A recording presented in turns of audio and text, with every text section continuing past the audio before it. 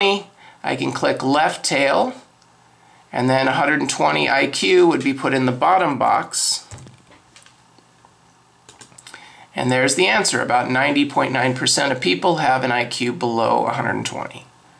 Okay, so I'm hoping this was helpful. Um, there are other programs. Most statistics programs will do normal um, normal proportion or probability calculations, but I really like the StatKey one the best. It's so easy to use and and um, like I say, I, lo I love the visual. I think it looks great.